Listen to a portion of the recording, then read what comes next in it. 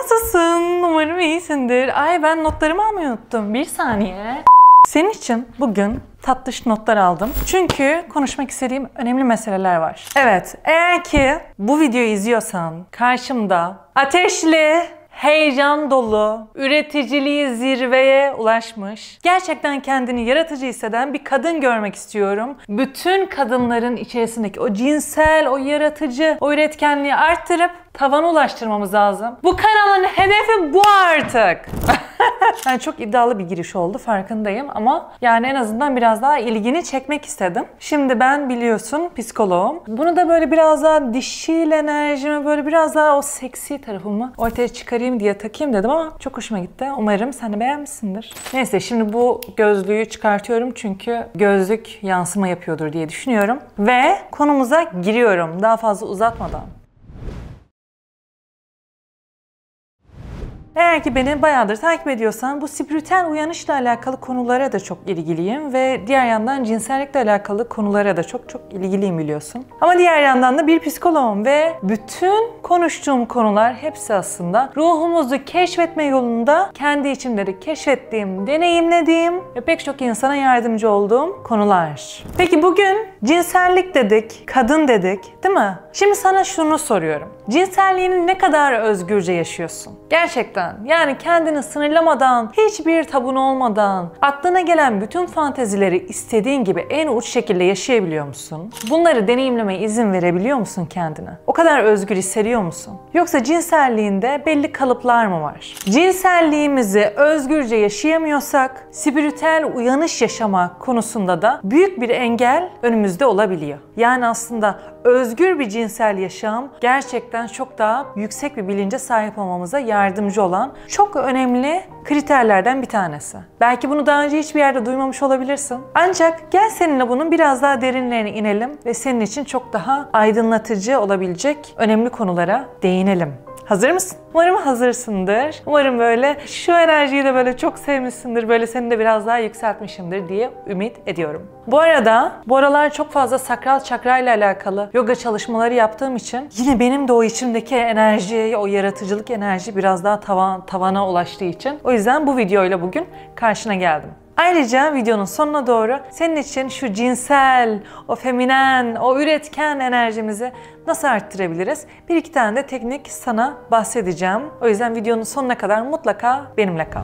Bir iki gün önce bir danışanımla beraber e, bu cinsellik konularıyla alakalı konuşuyorduk. Ve aslında orada flört ettiği kişiyle beraber cinsel konuşmalar yapabileceğinden, bunun çok doğal olduğundan bahsettik. Daha sonrasında aslında bir sonraki seansa geldiğinde bu konuda kendini çok yargıladığından, konuda çok büyük bir utanç hissettiğinden bahsetti. Ve ben de aslında bu utancın sadece ona ait olmadığını sistematik olarak kadınlığa, kadının gücünü bastırmak için hem ülkeyi hem de dünyayı yöneten insanlar tarafından oluşturulduğundan bahsettim.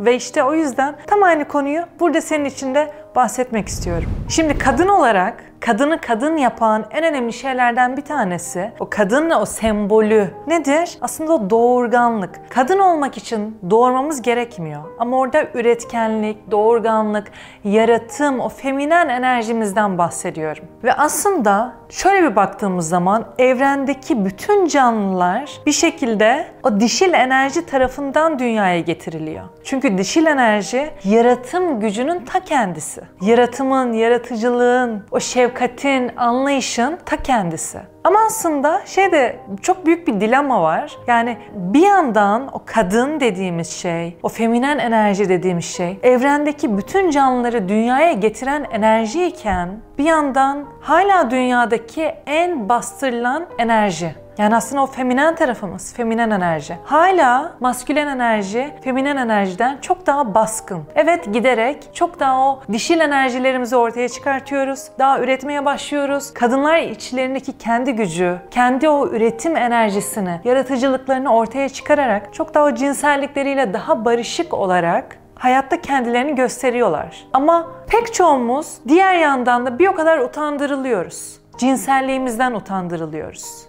Belki pek çoğumuz dışarıda bir kahkaha atarken utanabiliyor. Veya şöyle bir bir gözlük değil mi bak? Aslında sadece bir gözlük. Şu gözlüğü takmak bile bizi böyle çok seksi, çok böyle dişil hissettirdiğini, hissettireceğini biliyoruz. Ama yine de bu gözlüğü takmak bize utanç verici bile gelebiliyor. Eğer biz bir kadın olarak o üretici, yaratıcı tarafımıza izin vermezsek evrenin ufak bir gölgesi olduğumuzu nasıl fark edebiliriz? O Allah'ın, evrenin, o mutlak enerjinin bir parçası olduğumuzu nasıl kabul edebiliriz? Ona nasıl izin verebiliriz? İzin veremeyiz değil mi? Eğer biz cinselliğimizi, bizi biz yapan o üretmek kuvvetini, üretme gücünü engelliyorsak ve oraya blokajlar koyuyorsak, oraya engeller, oraya tabular ekliyorsak, biz nasıl o mutlak üretkenliğin bir parçası olduğumuzu kabul edebiliriz? Biz bütün o bastırdığımız, o bütün o gölge taraflarımızla birleştiğimizde, bütün o taraflara da ışık verdiğimizde, oraları da gördüğümüzde, tabu olan şeyleri sorguladığımızda, bizim korkutulduğumuz şeyleri sorgulayıp anlamaya çalıştığımızda, korkularımızın üstüne gittiğimizde, işte o zaman o içindeki gizli güçte neler yapabileceğini çok daha net olarak görmeye başlarsın. Belki de bu videonun ilk başında beni bu şekilde, bu gözlükle, mesela kırmızı giyindim, ojelerim var, saçlarım böyle, makyajımı yaptım, rujumu sürdüm, böyle cıvıl cıvıl açmak belki de senin için de bir şeyleri tetiklemiş bile olabilir. Belki bir kadın olarak bu videoyu izlesen de kendi içinde bazı yargılamalar bana karşı bile oluşturmuş olabilirsin. Olay burada ben değilim. Olay kendi içimizde geliştirmeye, dönüştürmeye ihtiyacımız olan o kısım birisini gördüğümüz zaman tetikleniyor ve o ben olarak şu anda senin hayatında olabilir. Ve aslında orada bir rahatsızlanma, bir rahatsızlık hissi oluşabiliyor. Eğer ruhun bir şeye ihtiyaç duyuyorsa, onu biz bir karşısında, karşımızdaki bir insanda görüyorsak bir rahatsızlık hissimiz oluşabiliyor yani. Olayın özü o. O yüzden şunu düşün bu videoyu izlerken kendi içinde cinsellikle alakalı hangi konuları yargılıyorsun? Ya da daha kolayı dışarıda cinsellikle alakalı hangi konuları yargılıyorsun? Mesela bunu özellikle bir başkasına bakarak daha iyi keşfedebiliyoruz çünkü.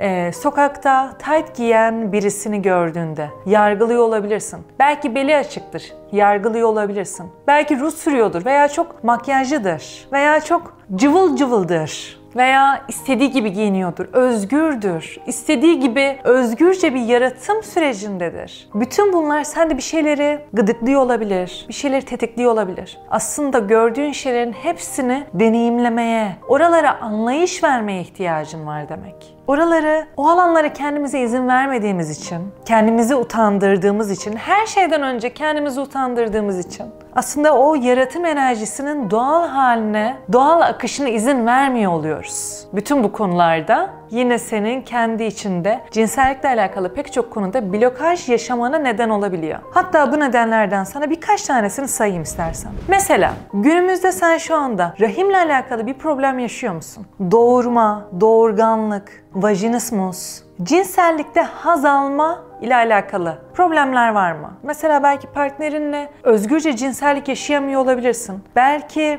vajinismus seviyesi de olmayabilir ama bacaklarını kapatıyor, itiyor. Bazı şeyler seni çok rahatsız ediyor olabilir. Bunları yaşıyor musun? Mesela orgazm olmaya izin veriyor musun? Bunu deneyimledin mi? Yoksa bununla alakalı kendi vajinana, kendine bile dokunmakta, kendini aynada görmekte problemler yaşıyor musun? Yani aslında cinsel enerjimize izin vermediğimizde biz bu tarz şeyler yaşayabiliyoruz. Ama şunu bir düşünelim. Hayata hayat yapan, evrende gördüğümüz bütün varlıkları, bütün ürettiğimiz her şeyi cinsellik sayesinde yapmıyor muyuz? Cinsellik sayesinde aşkı hissetmiyor muyuz? Cinsellik sayesinde üretmiyor muyuz? O bildiğimiz aşk şiirleri, o şarkılar, yaptığımız resimler, o üretme, üretme arzumuzdan gerçekleşmiyor mu? Üretme arzumuzdan gelmiyor mu? Cinsellik sadece fiziksel değil.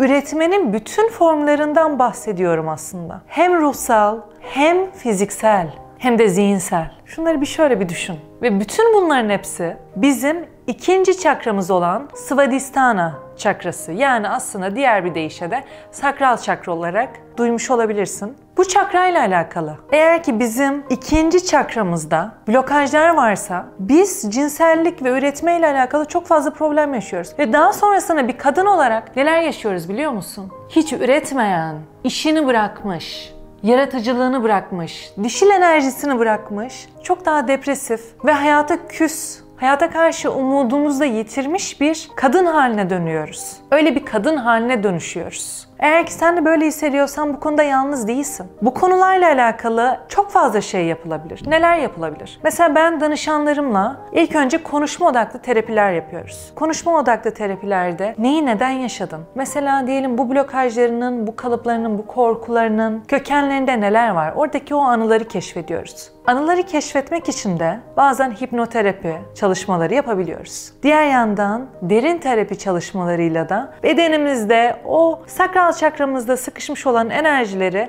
hissedip dışarıya atabiliyoruz, dönüştürebiliyoruz. Şimdi biz yoga çalışmaları yaparak yani özellikle de bu sakral çakramızla alakalı, Svadhisthana çakrasıyla alakalı, ikinci çakramızla alakalı çakra çalışmaları yaparak, yoga hareketleri yaparak bilinçaltımızın en derinlerinde olan cinsellik ve üretme ile ilgili blokajlarını hiç konuşma olmadan bile dönüştürebiliyoruz. Seanslarımda, bireysel seanslarımda yoga çalışmalarını da katıyorum. Mesela diyelim ki direkt konuşmalı veya işte bilinçaltı çalışmaları da yapıyoruz okey. Ama bilinçaltı çalışmalarının en derinine giden yöntemin de yoga çalışmaları olduğunu keşfediyorum. Bütün çalışmaların yeri ayrı ayrı. Konuşmalar da önemli. Bilinçaltının derinliklerine inmek de çok önemli. Ama yoga çalışmaları sayesinde sinir sistemimizi tekrardan dönüştürüp bilincimizde değil, yani buzdağının sadece ucunda gördüğümüz kısımla değil, çok daha derinlerde o sinir sistemimizle alakalı, enerji sistemimizle alakalı çok ciddi dönüşümler yapabiliyoruz ve bu beni gerçekten çok etkiliyor. Tam da bundan ötürü danışanlarımla artık bireysel seanslarımıza konuşmalar haricinde yoga çalışmaları yapıyoruz ve kişinin hangi çakra ile alakalı çok daha fazla problemi varsa ona yoğunlaşarak farklı yoga hareketleri yapıyoruz. Yani aslında bizim normal terapilerimizi destekleyecek mükemmel bir yöntem oluyor. İstersen bu konuda bana da ulaşabilirsin. Ya da diğer yandan internette çok güzel çakra çalışmaları da var. Ancak tabii ki internette gerçekten yararlı olan bilgiler kadar bize gerçekten e, sağlıksız veya incinmemize, sakatlanmamıza neden olabilecek pek çok çalışmalar da var. O yüzden bu konularda en azından bir uzman eşliğinde ilerlemen senin için çok daha sağlıklı olacaktır. Gelelim o önemli tekniğe. Senin için yoga içerisinde kullandığımız iki önemli şeyden bahsedeceğim. Bir rengin gücü, bir de mantra. Şimdi yoga hareketlerini şu anda burada göstermeyeceğim için senin için iki çok basit şey öneride bulunacağım. Rengin gücünden bahsettik. Rengin gücü derken mesela sakral çakramızın rengi yani aslında orada cinsel enerjiyi daha bir aktifleştirmek ve orada blokajlar varsa bunu biraz da arttırmak için turuncu rengini çok daha aktif olarak hayatına sokabilirsin. Yani üstüne giydiğin kıyafetler olsun, kullandığın eşyalar olsun. Yani turuncuyu çok daha fazla hayatına katmak bu konuda senin için o yaratıcı gücünü daha fazla yüksek seviyelere çıkarmana yardımcı olacaktır. Birinci önerim bu. İkinci önerim ise bir mantra. Şimdi her bir çakramızın kendine özel bir mantrası var. Yani kendine özel bir frekansı, bir sesi var. Sakral çakramız için ise bu mantra VAM. V-A-M. Vam diye kendi içimizde tekrarlayarak sesli ya da sessiz bir şekilde bunu kendi içinde tekrarlamanla beraber ve tekrarlayıp tam bizim sakral çakramıza da odaklanarak tekrarlayacaksın ve oradaki enerjinin giderek büyüdüğünü, genişlediğini hayal etmek bile senin cinsel enerjin konusunda farklı açılmalara, rahatlamalara ve üretim konusunda da tabii ki rahatlamalara yardımcı olacaktır. Bunları mutlaka dene. Diğer yandan bu vam kelimesini söylerken tam olarak nereye odaklanacağını biraz daha netleştirmek istiyorum. Şimdi ellerini ilk önce sağ elinin orta parmağını al ve vücudunun orta hattını bul. Tamam mı? Vücudunun orta hattını bulduktan sonrasında tam tam bizim kalça kemiğimizin iki tane şu sağ ve soldaki o kalça kemiğimizin orta kısmına in. Şu anda tabii ki kamerada göremiyorsun. Senin için aslında belki burada gösterirsem bir tık daha rahat olacaktır diye düşünüyorum. Şimdi burası bizim kaval kemiğimiz. Vücudumuzun orta hattına tam buraya odaklanacaksın. Buraya odaklanarak meditasyon yapacaksın yani. Buraya odaklandın. Değil mi? Daha sonrasında gözlerini kapattın ve içinden şunu yapacaksın. Vam diye tekrarlıyoruz. Vam bu kelime, bu frekans, bu ses senin sakral çakranın dengelenmesi için çok özel, çok önemli bir frekans aslında. O yüzden bu ufak çalışmalar bile sana yardımcı olacağını düşünüyorum. Umarım bu anlattığım videolar biraz olsun sende farkındalık oluşturmuş, biraz olsun seni böyle güçlendirmiştir. O zaman diğer yandan ise bana her zaman ulaşıp benden de seans almak ve bu konuda beraber ilerlemek istiyorsan, blokajlarımızı beraber aşmak istiyorsan bana gezenpsikolog.com ailesine girip buradan ulaşabilir, oradan randevu oluşturabilirsin. Beraber hem konuşarak hem de farklı farklı bilinçaltı teknikleriyle hayatını dönüştürebiliriz. O zaman kendine çok iyi bak. Bir sonraki videomuzda görüşürüz. Bye bye.